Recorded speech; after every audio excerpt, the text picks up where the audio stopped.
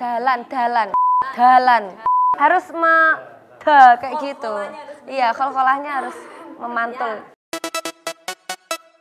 Don't stop.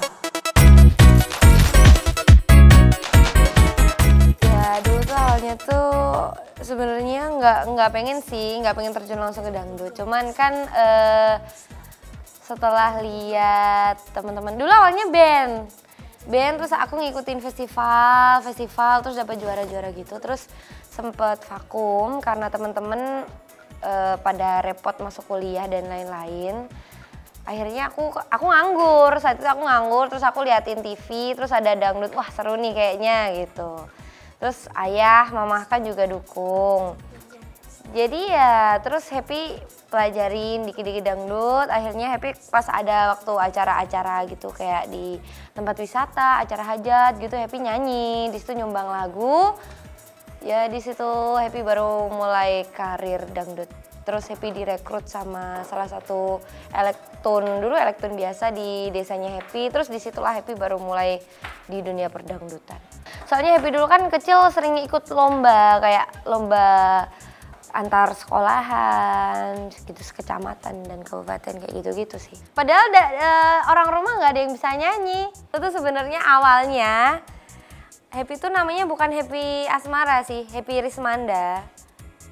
Iya, Happy Rismanda. Terus aku ada tukang make up aku, ada MUE aku dulu. Terus dia namain, kenapa sih namanya nggak Happy Asmara apa atau Happy Sonda aja gitu. Apa Happy Sonda tuh apa kayak nama ular ya? Aku bilang gitu kan. Terus yaudah Happy Asmara aja bagus. Terus pas waktu kan sering ngejawab juga sama dia gitu. Terus akhirnya pas waktu dipanggil Happy Asmara, Happy Asmara gitu. Jadi semua udah kayak kebiasa kayak Happy Asmara gitu. Em, arti khususnya dia yang tahu sih katanya Happy itu senang, Asmara itu cinta. Jadi aku bisa menebar asmara ke semua orang gitu. Katanya sih, tapi amin aja deh, amin. Dulu tuh eh, Happy tuh kayak ikut acara wedding gitu kan. Ada acara ses- dua sesi, jadi pagi sama malam gitu. Happy dibayar 50 ribu doang. Iya itu pagi sama malam, kadang dikasih 10 ribu kan. Dulu waktu Happy masih SMP kan, gitu. Jadi kayak yang waktu, waktu awal sih Happy sempet nyanyi bentar, terus vakum, terus baru SMA lagi nyanyi itu. Sekarang sehari itu Happy bisa take video dari satu label bisa sampai 18 lagu, 20 gitu. Sehari itu itu tag vokal sambil video. Jadi eh, tag vokal yang udah happy jalanin selama satu bulan ini lebih dari ser- 100 kali ya lebih dari 100 lagu kali ya. Cuman hampir setiap hari itu kayak lagu happy keluar terus gitu.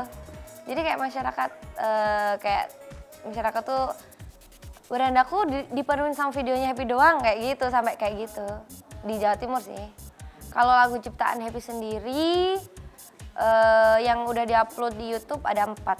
Yang masih kesimpan ada dua sih belum diupload, masih jadi rahasia. Soalnya kan eh, lagu-lagu Happy yang keluar di YouTube sama label-label lain kan masih banyak banget tuh. Takutnya nanti kalau bentrok apa-apa gimana kan jadi promonya nggak maksimal. Pasti kalau tentang cinta. kan Happy kan gitu-gitu doang hidupnya galau mulu, ah, disakitin mulu. Masa Aduh. cantik happy disakitin. Ya nggak menutup kemungkinan lah orang cantik itu malah selalu disakitin. Biasanya kalau orang-orang yang kayak happy ini kayak ini suka kan suka baperan gitu, jadi mudah disakitin. Aduh, mungkin karena Tuhan sudah menakdirkan seperti itu ya. Kalau rahasia mah Happy selalu promo sih. Setiap kali lagu yang Happy bawain, Happy selalu promo di Instagram. Happy nggak males gitu loh jadi orang. Kan ada kan penyanyi udah dikasih lagu, terus dia nggak mau promo, udah biarin aja. Yang penting aku udah rilis. Mungkin nanti anak-anak yang gerak gitu. Kalau Happy nggak, kalau Happy Happy promoin di Instagram. Happy kan karena udah tanggung jawab Happy, kayak bawain lagu terus kalau sampai ada trendingnya kan Happy juga bangga gitu, seneng gitu. Eh, menurut aku aku lagi emang lagi hoki aja kali ya. emang semua orang sepertinya sudah mulai eh, ini ada adik baru gitu. Enggak, enggak damai banget. Sumpah Mbak Nela itu orangnya bahkan Mbak Nela itu baik banget. Bahkan di lagu Happy yang album Tak Ikhlas No itu Mbak Nela juga ikut promosiin di Instagram story-nya juga kemarin.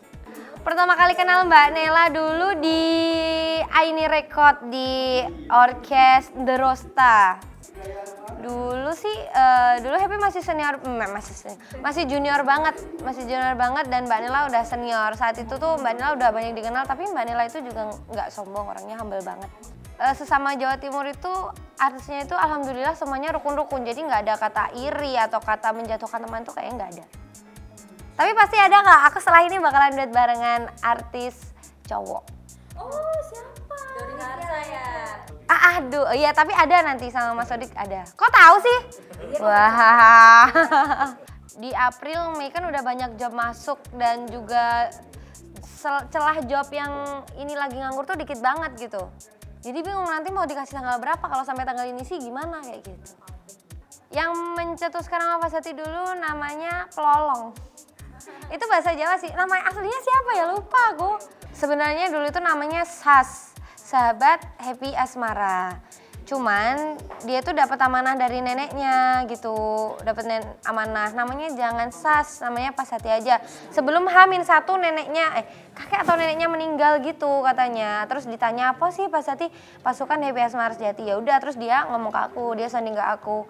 Namanya diganti pas hati aja, lebih enak apa penyebutannya, lebih enak dibilang pas hati gitu kan enak daripada sas oh ya sudah. Kalau gitu ya udah oke aja gitu. Dia dari Pari kok tipe hati sama keluarga itu berarti banget. Bagi aku berarti banget. Tanpa mereka aku tidak akan seperti sekarang ini. Dan tanpa mereka aku itu bukan siapa ya siapa gitu loh. Sampai sekarang aku udah dikenal masyarakat luas. Dan itu juga berkat doa mereka dan dukungan mereka. So uh, happy ucapkan banyak terima kasih untuk Mas Hatiku semoga selalu uh, diberi kelancaran dipermudahkan urusan dunia dan lancar rezekinya untuk pas hatiku semuanya. Amin amin ya rabbal alamin. Uh, dulu sih, dulu pernah pas ada acara ulang tahun. Happy tuh kayak nggak nyangka kalau diberi surprise. Jadi Happy tuh kayak diam-diam Happy nggak tahu apa-apa sih. Per awalnya sih kayak Happy nyanyi tuh sepi-sepi aja, kayak nggak ada apa-apa gitu pas waktu nyanyi. Happy tuh sampai ih masa nggak inget sih sama ulang tahun aku? Gitu kayak ih sedih banget gitu. Ternyata sepulang itu semua udah ngasih surprise udah wah heboh banget. Pokoknya itu yang membuat aku speechless pas itu pas waktu tahun 2018 kalau nggak salah pas waktu 2018 itu adalah momen yang paling happy nggak bisa lupakan di situ. Karena semuanya itu kompak jadi satu gitu. Happy nggak ngerti kan kadang kayak uh, dari pas hati satu ke satu kan belum tentu mereka bisa akur gitu. Tapi ternyata semuanya itu kompak saat itu dan akur dan itu Happy senang banget. TikTok pendukung, menurut aku TikTok itu pendukung. Happy itu awalnya uh, suksesnya itu menurut Happy di YouTube karena Happy bisa trending satu di lagu Dalan Liane produksi dari Safari Record saat itu. Wah ini ada apa nih? Ini ada apa nih? Ini ada apa nih? Ah apa? Ah. Happy gimana ya? Happy tuh lagi jomblo gitu loh. Bohong, kita lihat ya kita lihat. Itu hoax. ada banget ada bukan. Enggak kok, cuman deket aja. Zona nyaman ya.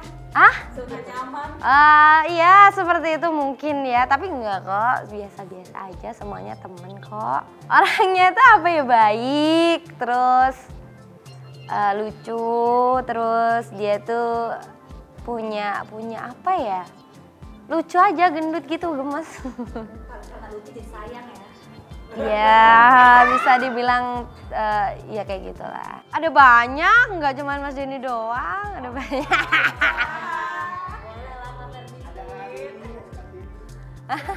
eh, lihat dah. Kita tunggu ya tanggal. Oke, kita tunggu.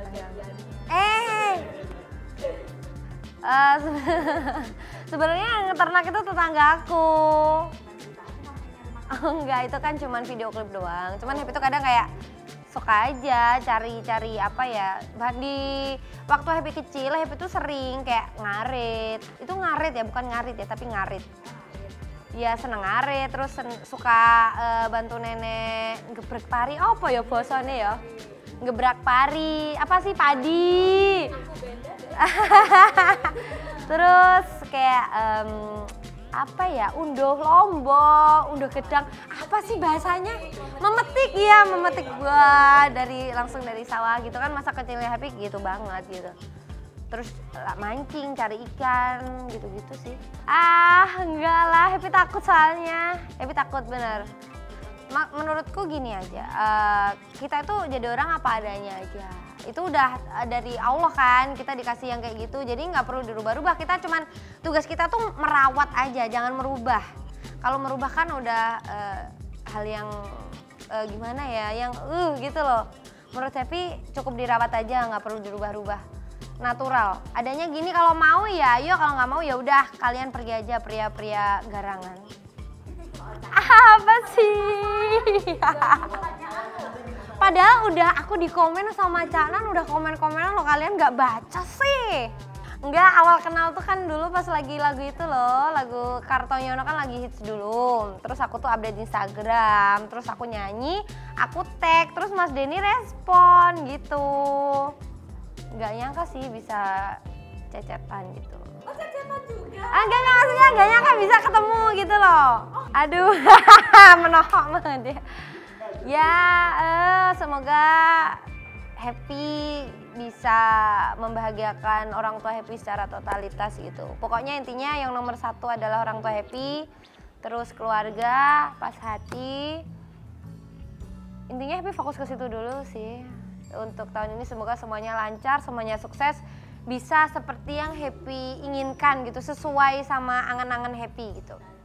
Enggak, Happy enggak selemah itu kok, Happy orangnya kuat. ya dulu pernah sih diremehin sama orang, di, ya kan namanya juga penyanyi dangdut kan ya.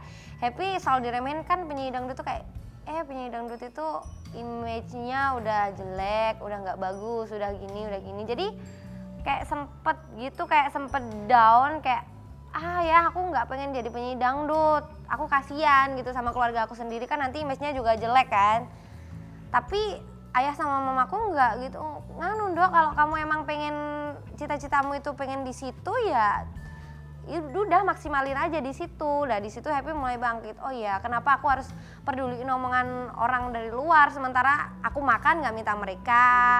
Aku beli apa pun juga mereka eh, nggak mungkin kan aku beli ini terus mereka ikut-ikutan eh, donasi di situ juga nggak mungkin gitu. Jadi apa yang happy suka happy lakuin aja.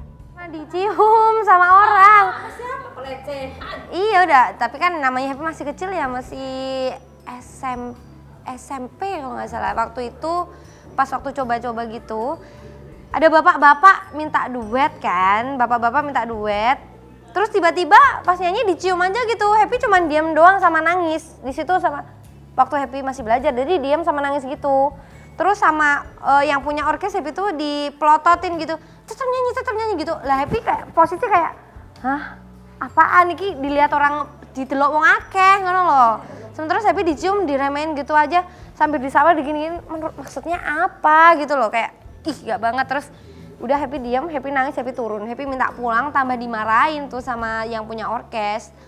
Terus akhirnya ya udah diem. Terus itu yang buat happy vakum lama di dunia pedangdutan trauma sih Kalau sekarang nanti udah lebih mengatasi. iya sekarang udah kalau gitu tonjok aja udah Eh, boy,